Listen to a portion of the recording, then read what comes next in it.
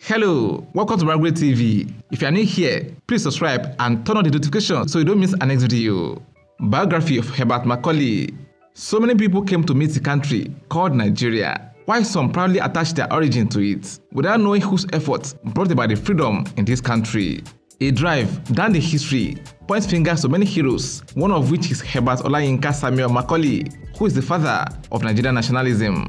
This champion was born into the world on the 14th day of November 1864 in Lagos as the seventh child into the family of Thomas Babington Macaulay. He is the grandson of the legend Bishop Ajayi Crowther. His parents were slave returnees from Sierra Leone.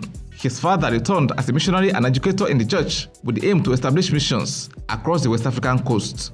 So one can say that right from childhood, Herbert was placed on the track even though he chose a different path from his parents. Having come from such an influential home, he was educated. Initially homeschooled by his mother until the age of 5 in 1869, he entered Paul School Breadfruit for his primary education. He was enrolled into the Church Missionary Society, CMS Grammar School, one of the best secondary schools at that time, founded by his father in 1859, after which he enrolled into the civil service as a clerk assistant in 1881. He was sent abroad nine years later to further his study at Trinity College, London, by the government on scholarship. Three years later, he came back as a professional engineer, the first in the areas now called Nigeria. Despite his level of professionalism and appointment as a surveyor of lands owned by the colonial government, he was not spared from racial discrimination from the colonial rulers, especially in the area of payment. The only qualification a white man needed was his skin color, while he, as a black man, even with his level of education, received less. He became angry and resigned in 1898 to establish his own private practice in Lagos as a surveyor and architect. He was charged with financial misconduct and jailed for two years with restricting order never to run for any public position.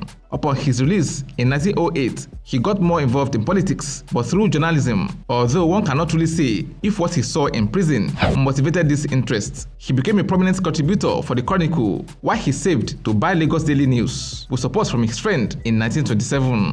That newspaper was the first to be established in 1925 in Nigeria. Now he plays the piper, so it was easier to dictate the tune. His articles, commentaries were all written to criticize the discrepancy that existed in government. He wrote on racial discrimination of the blacks by the whites, differences in taxation, salary, locations, free press, denial of ownership, and policies that were not in favor of the blacks. With no limit to his writings, it wasn't a surprise for him to land in prison the second time with six-month sentence on issues involving the Eleko, the then king of Lagos. Having just established indirect rule, the government feared that they would lose the trust of both the traditional rulers and the masses because of such acts. So he was released. Upon Herbert's release, he became more careful with his writing, but not losing his objectives. His popularity spread among the people, having won two cases in the British Highest Courts in favor of the people concerning land and also for Eleko of Lagos. He was adored by many, and that paved way for his establishment of the first political party known as National Democratic Party (NDP) in 1923,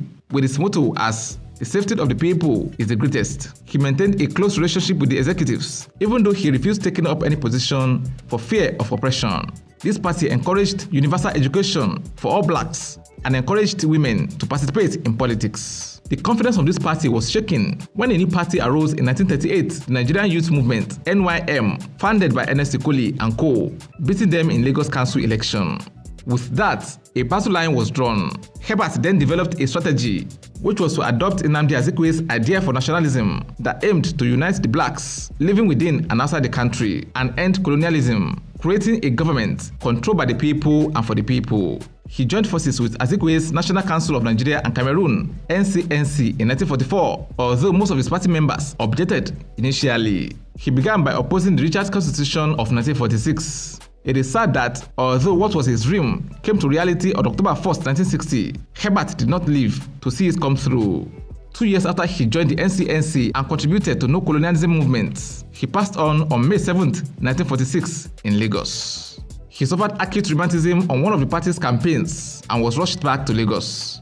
He married Carolina Pratt in 1898, although the marriage ended with her death in 1899 with no child. He had several children from other women in memory of this great nationalist, journalist, advocate, engineer, architect, and politician, his face is printed on one of the Nigerian currencies, the one naira note, which is now a coin. What's your take on Herbert Macaulay as an African nationalist? Let's know in the comment section. Will it be ridiculous to subscribe to our channel? If no, please like this video, share and subscribe to our channel.